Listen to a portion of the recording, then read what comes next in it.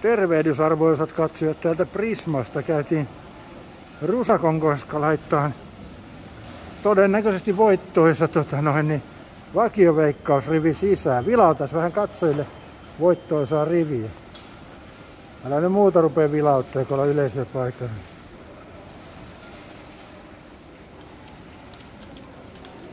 Ne vähän tänne sivun puolelle.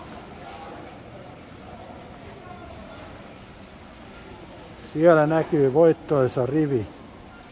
Pistettiin kahteen osaan, 10 per naama, 20 maksaa. Älä näytä tuota pelaajatunnustus. Noin. Et tämmöstä täällä Prismasta tänään tulevat vakioveikkausvoittajat ovat tässä, että voitte jo etukäteen olla hieman kateellisia. Joo.